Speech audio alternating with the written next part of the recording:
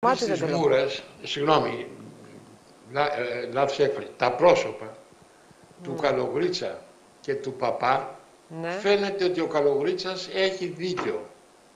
Φαίνεται ότι ο Παπάς είναι αυτό που λέμε. Δηλαδή ότι είναι θύμα ο Καλογρίτσας. Ναι. Αυτό έγινε. Ήταν πολύ αγαπημένος φίλος ο, ο παπάς όμως για τον κύριο Καλογρίτσα, το είπε και ο ίδιος. Ο Καλογρίτσας ήταν πάντα αριστερός από τότε που έβγαζε την πρώτη. Δεν ήταν δεξιός ποτέ. Αριστερός, ναι, το είπε σήμερα. Ε, δεν ήταν όμως ο κενός αρπάζο. Είχε κάτι.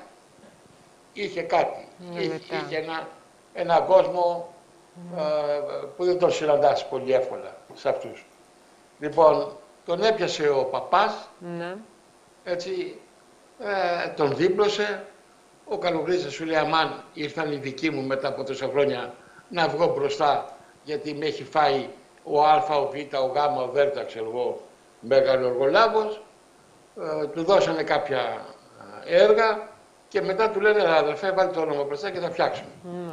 Και στήσανε για τα 35 βοσκοτόπια και ιστορίες, τα οποία δεν μπόρεσαν να καλύψουν. Βάλα και τους Άραβες για να δέσει το γλυκό. Ο Καλογρίτσας, επειδή ξέρει τι σημαίνει, αυτό το συνάφι, την έκανε με ελαφρά πηδηματάκια.